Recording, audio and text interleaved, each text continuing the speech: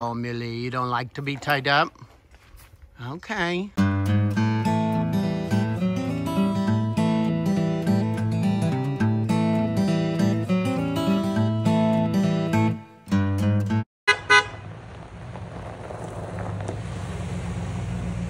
Hi. What you doing? Brought you a pretzel Oh, you're so good. with cheese and A shake? yep. Awesome. You going to get some poop? I am. How do you know? Well, the baggies with the names on them. Dead giveaway. Oh, okay. I'm good at picking up poop. You want to see Bubba?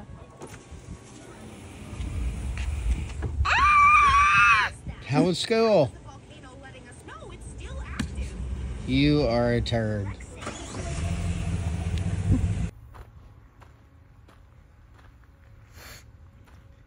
Pop.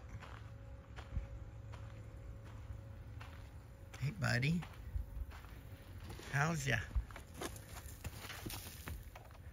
So I'm mixing up a bucket of alfalfa pellets and putting on um, an oil flavored that that is has different nutrients in it um, made for horses but camels like it too i use this to coat the alfalfa and what else i will also put on this will be some selenium in there for extra minerals uh, we keep them on minerals and loose salt for supplements. And we also, through the summertime, have been giving them uh, the Redmond salt with garlic in it to help with the uh, the fly control. So we got some oil in there, some selenium. Uh, I'm gonna put a couple scoops of garlic in there for them. Actually, this bag is almost empty. So I just added into there. We'll get a refill. So these two are up here ready to get their, their treat.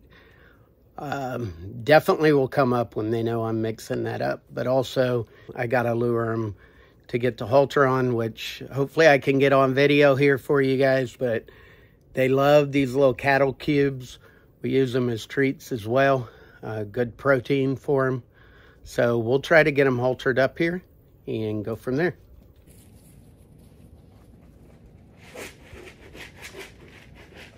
Come on, Millie.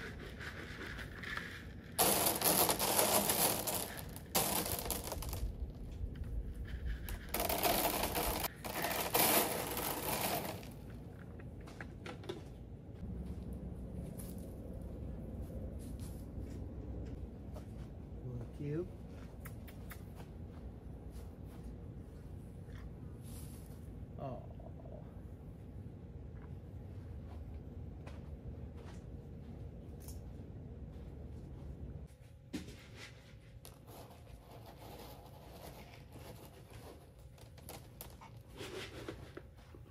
There, you're back. You trust me now? Probably not.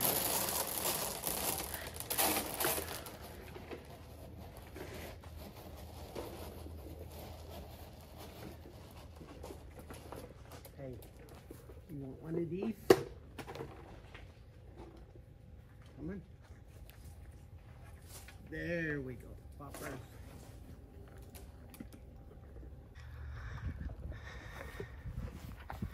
So we got these guys here in the shade, eating some treats. Oh, Millie, you don't like to be tied up? Okay. Two of the common questions we get on Poppy and Millie are uh, the questions are number one, are they expensive? Number two, are they hard to take care of? And both of those answers are yes and no.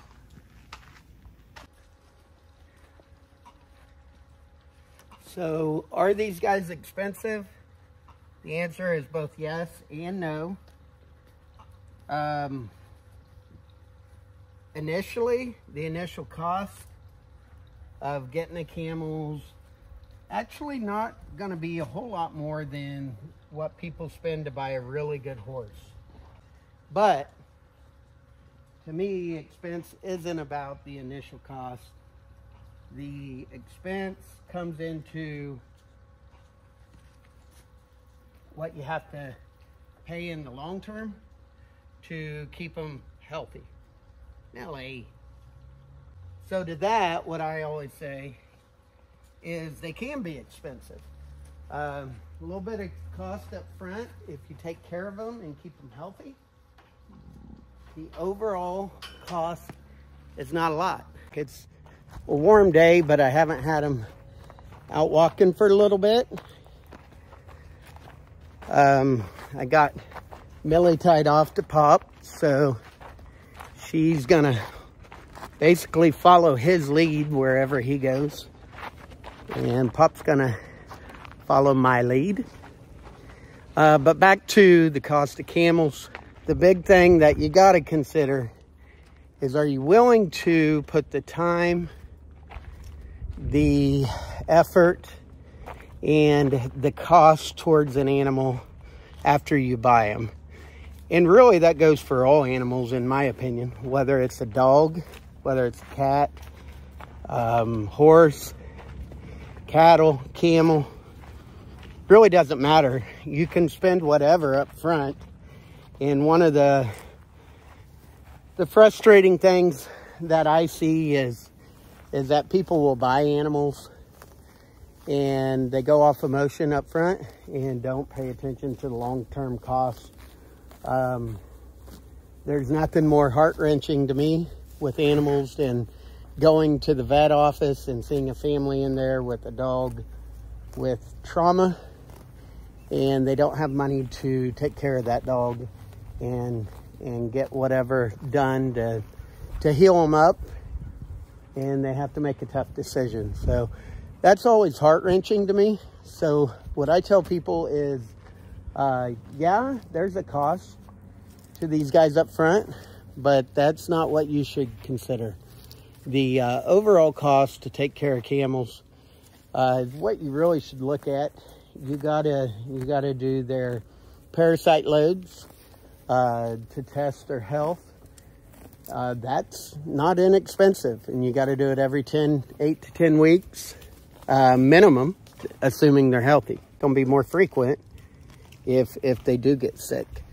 Another additional cost is treating them if they do have a parasite that needs treated.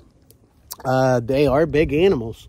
They have a different digestive tract than horses, cows, um, other animals. So the way that they actually absorb their medications is different. And so they typically take multiple treatments at high doses. Uh, it is easy to estimate. You could spend four to five hundred dollars per animal every year just on on treating their parasites if you let them get out of control. If you you keep them healthy, that cost goes down dramatically. And that goes with the other thing. Are they easy to take care of? Um, yeah, they eat grass, they eat hay, they eat leaves, they eat, you know, we treat them with alfalfa supplements, uh, alfalfa pellets. We, uh, we take pretty good care of them. But it is work to make sure you're doing what you need to do. So with these guys, um, again, we got to test their parasite loads. Are they easy to take care of? Yeah, until they get sick. Um, so if you're not willing to put the effort to make sure you're treating them right and taking care of them and keeping them healthy, then no, they're not easy to take care of. Another consideration is these massive feet. Um, we are fortunate we live on a property that has some pretty hard ground, pretty hard uh, rocky areas that they walk through and they keep their toenails trimmed down. If you're in a place that doesn't have very hard or rocky soil, um, then you're going to have to take care of their feet, trim their nails, all that stuff. The um, Poppy's kicking right now. We're gonna spray some fly control on them. Again, that is uh, something that you gotta do this time of year. You've gotta do fly control almost every week uh, to, to keep up with them. So, you know, that's, that's quite a bit of work that a lot of people aren't willing to put forth. Um, minerals are very important. Loose salt. You don't keep them on good min minerals. They do tend to have bad uh, leg and feet problems and weak bones, which of course in any animal, if you get weak bones, that is either life ending or very expensive to to repair. So these guys are fun. We love them. Beautiful creatures. They uh, have personalities. They can be moody. They can be rambunctious. Every day is different with camel. They make great pets, great companion animals. Um, it's just something I wouldn't recommend people get into unless they're ready for a long-term investment, uh, which long-term, they live 45 to 50 years. So you, better be thinking down the road if you want to invest in camels. And uh, long-term also means you got to take care of them and spend plenty of time treating them and spending time with them every week. So guys, that's a little bit on our camels, how we take care of them. Had them out of the pen for a little bit here. Uh, we're gonna get them tied back up and get some fly spray on them and, and cut them loose and finish picking up their poop so that we can get it sent off to the lab and get them treated they need it. This is what their turds look like.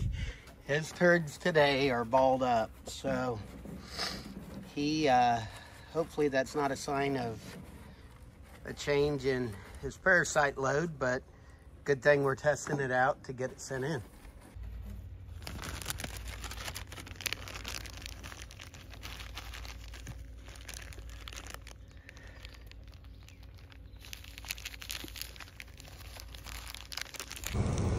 Give you an idea of what their stools look like. This is Millie's. Uh, pretty consistent to what it usually looks like. Poppy's is usually like that, but just a little bit larger. His today, however, are a little bit more chunky. Uh, hopefully that's just nerves of him knowing he was going to get caught up. They do kind of have looser stools when they get nervous. Um, so hopefully that's what this is from. But this just shows the point. Uh, you got to keep them tested to make sure they're healthy. Now, interesting about their poop or their droppings, uh, it is considered to be a good fertilizer. We've never used it, but in research, it has a lower what they call a heat value, which means it can be put uh, more directly with with your plants and it also uh, can be used sooner in the nitrogen and all the different um, makeups of, of fertilizer. The ratio in camel poop is supposedly one of the best. So if you want to come clean my stalls and get all the free fertilizer you want, hey, message me and let me know. Hey, Poppy. Let me get you undone here, buddy.